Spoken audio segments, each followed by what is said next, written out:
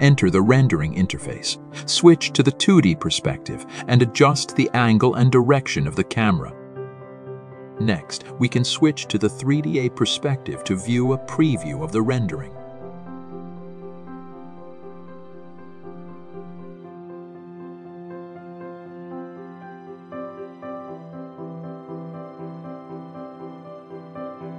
After determining a perspective, we can save the perspective and adjust the next perspective.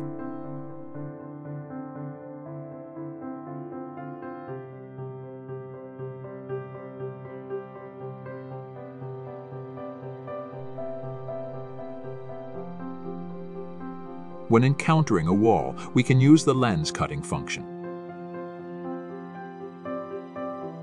We can also adjust basic parameters like the height and focal length of the camera.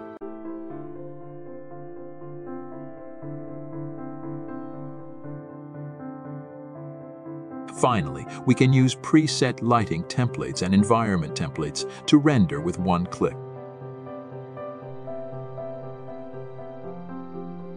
It's that fast and cool. Come and join us